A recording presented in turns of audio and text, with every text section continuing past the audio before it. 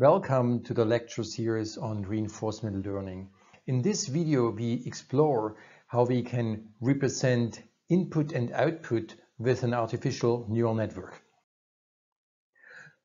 The famous applications of reinforcement learning use deep artificial neural networks, be it for chess and Go, and these approaches became famous around 2015, but in fact it has a much longer history. Backgammon uh, was analyzed with, anal with artificial neural networks already in 1992. In all these cases, the idea is that the input configuration on the board is represented by a large number of neurons and the output represent Q values, Q values for each of the different actions that are possible in the game. And once we know the Q values, actions are relatively easy to choose. For example, we can use the softmax strategy for a given action A prime. The question then is, how can we optimize the parameters of the network so that the Q values have representative values? Well, we do this by learning weights during uh, many trials where the algorithm plays against itself.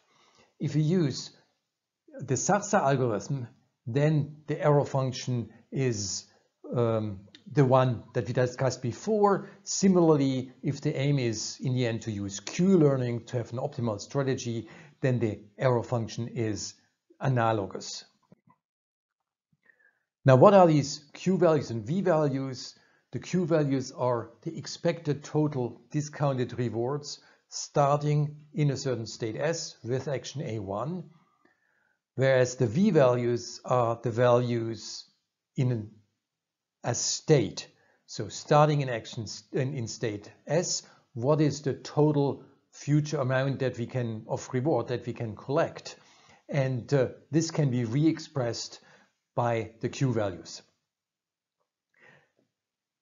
Now for V values, learning with V values, we would not uh, use the standard error function discussed before, but we would do a semi-gradient or loss function that compares the V value in state S with the V value in the state S prime and the momentary target, the momentary reward RT and V of S prime together form the target, which should be stable and therefore we only take the gradient with respect uh, to V of S given W. So how can we use this for backgammon? As I said, it's a long history. Here I summarized the paper from 1995 by Gerald Tesauro. So the action is to move pieces and the actions are chosen in an epsilon greedy fashion so as to increase the V value in each step. So you look forward where can I go? What would be the V value of these possible positions? And then you try to play greedy. You pick an action that maximally increases the V value. The neural network parameterizes these V values as a function of the state S. There's one single output, that's the V value. And we learn weights, as mentioned before, by playing against itself. We learn this using an error function. The error function represents the TD error of the V values and importantly we use eligibility traces. Now note that this is a discrete game. However, the input are nicely represented such that generalization across different similar position is possible. And with this, uh, a trained neural network achieved already in 1995 a level of performance that perfectly uh, played the game at a level where it could beat the masters in the field. So let's summarize. We want to use neural networks. We model with neural networks the transformation from an input space to the output. For control problems, problems in space, the input space is naturally continuous. For example, here a moon lander that has to land between the poles. Well, a little bit to the left, a little bit to the right makes sense. This little bit is in a space where neighborhoods are well defined. And the idea is to choose the represent, representation that makes generalization to neighboring states easy. Now in discrete games, we don't have this natural continuous space. Nevertheless, the combinatorial space is often too big to be really represented. And then we use deep neural networks or neural networks with a few hidden layers to generalize across similar position.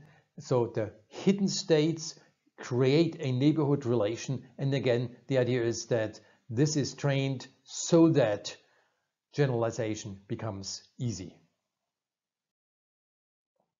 In all the methods, whether it's implemented in a neural network, in a shallow network, in a deep network, or in a radial basis function network, in all these methods I've discussed so far, we use TD learning methods.